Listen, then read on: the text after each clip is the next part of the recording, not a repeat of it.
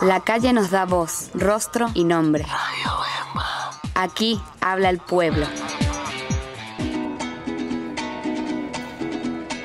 Vamos gente de mi tierra que llevas a cuesta una gran decepción. Vamos gente de mi tierra, luchemos, luchemos por un mundo mejor.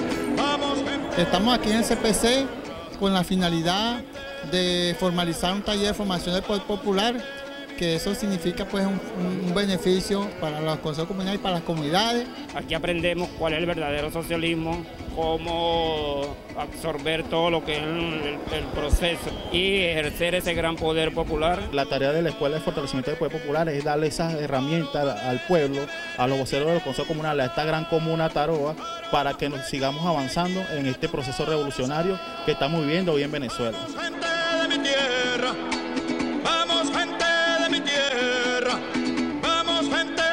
De estos proyectos tan bonitos que la gente se va a poder dar cuenta de la importancia pues que se vive en estos momentos y que para ellos es relativa esta información para que así de esta manera sepan eh, cuál es el conocimiento en realidad que persigue un consejo comunal y la formación también que viene de lo que es la comuna Taroa, que son las comunas.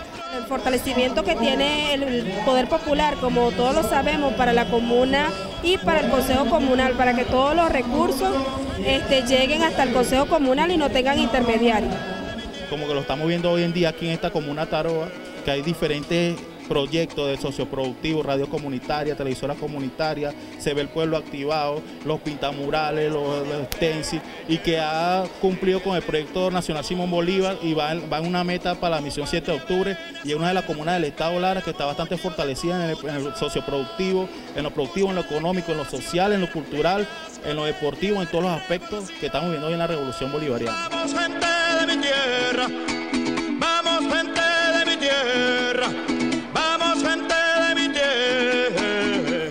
Iniciando aquí en la comuna Taroa, muy pronto también lo llevaremos a los municipios foráneos como Torres, Jiménez, Morán. La importancia que tiene esta formación aquí en la comuna Taroa para todas las personas que habitan en nuestro ámbito, porque este es un momento sumamente importante por, por el conocimiento de qué es lo que nos quiere y qué es lo para nosotros esta nueva construcción de este nuevo gobierno socialista. Y para ese gran pueblo patriótico que queremos nosotros rumbo a esa misión 7 de octubre que tenemos un compromiso bastante grande con el comandante Chávez y la revolución bolivariana.